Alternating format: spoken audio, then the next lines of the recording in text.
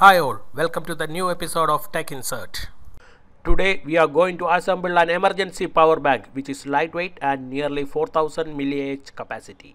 Subscribe to my channel for getting new videos like this. Also press bell icon so you will never miss any videos from my channel. This is the 18650 battery we are using in this power bank and it has 2000 mAh capacity. If you have more capacity battery with you then it will be more good. We are packing everything inside this PVC pipe. Without altering the PVC pipe you cannot insert 3 batteries inside this PVC pipe. I will measure you what is the diameter of this PVC pipe. This is exactly 4 centimeter in diameter. What we are doing is we will be inserting the battery like this inside the PVC pipe and will connect the power bank module to this battery pack. This is the power bank module and I will add the buying link in the description box.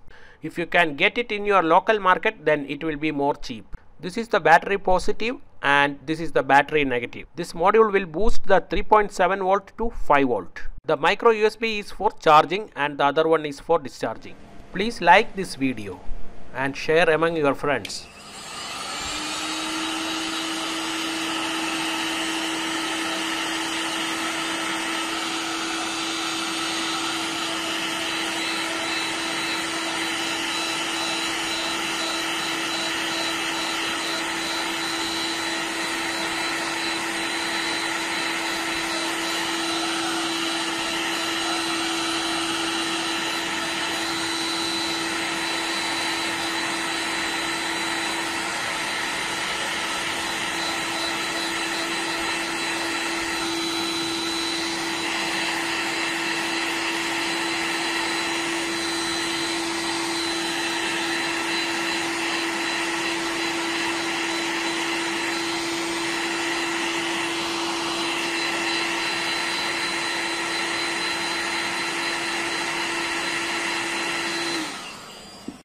If you do not have a hot air gun then for heating the PVC you can make use of your cooking stove burner or fire a piece of paper and bring the PVC into that fire that is also possible.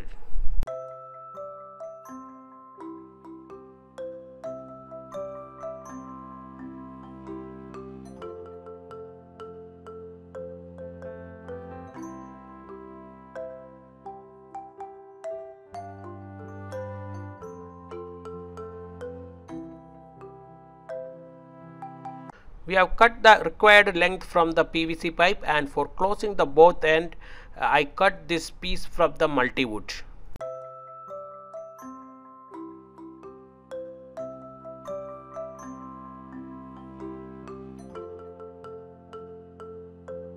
The advantage of using multi-wood is the power bank module will be perfectly fit in the multi-wood and applying the gum will make it more powerful and pulling the USB cable and inserting the USB cable will not move this module.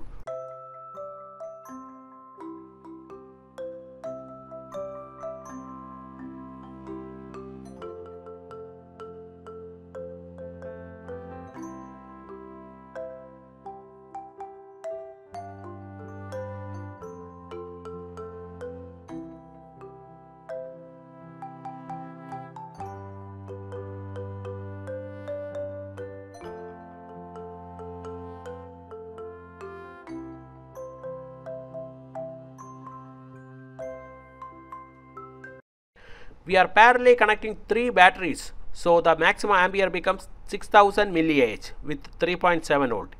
Even though it is 6 ampere we can expect 4 ampere only because the module will use some ampere to boosting the uh, 3.7 volt to 5 volt. I do not recommend soldering the batteries but I do not have a spot welding machine with me. While soldering do not hold the soldering iron for a long time Clean the terminals of the battery, then apply flux or soldering paste and then take minimum amount of lead in the soldering tip and immediately touch and pull the iron back. So the lead will fix in the battery terminals. Then wait for some time for the battery becomes cool. Then solder wire immediately and let it cool again.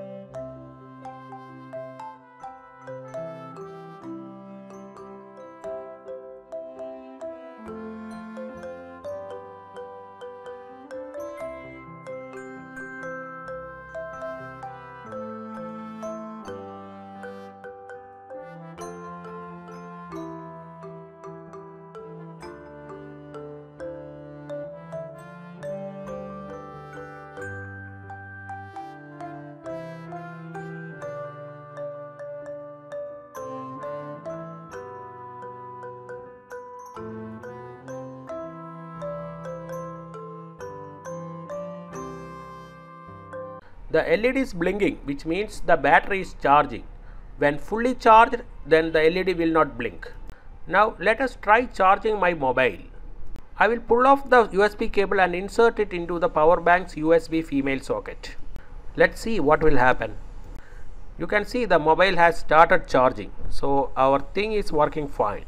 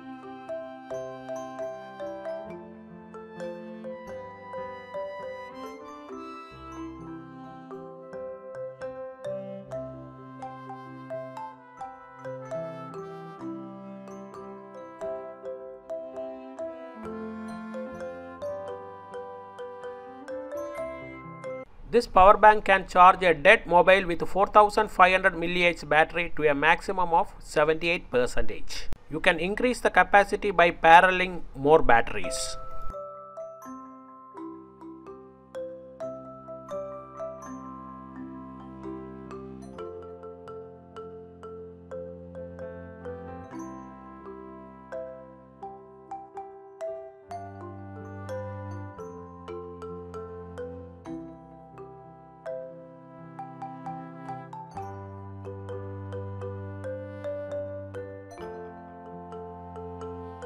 The assembling has completed and you can start using it but its surface is not looking good.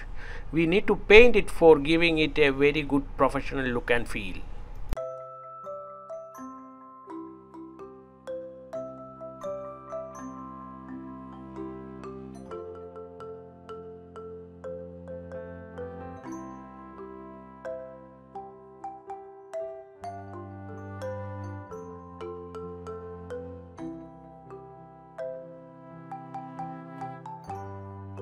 My aesthetic sense is so bad.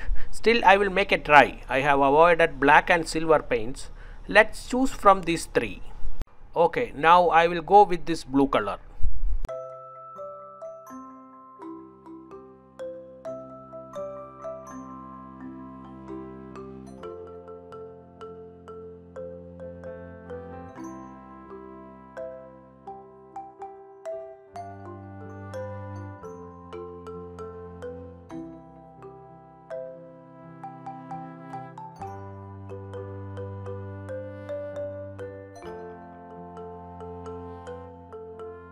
See the LED, it is not blinking which means the battery is fully charged.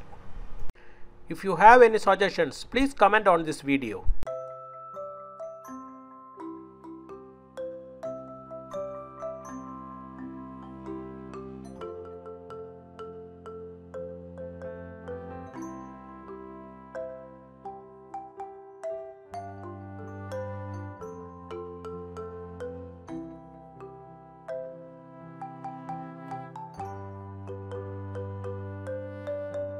Please subscribe to my channel for getting more videos like this.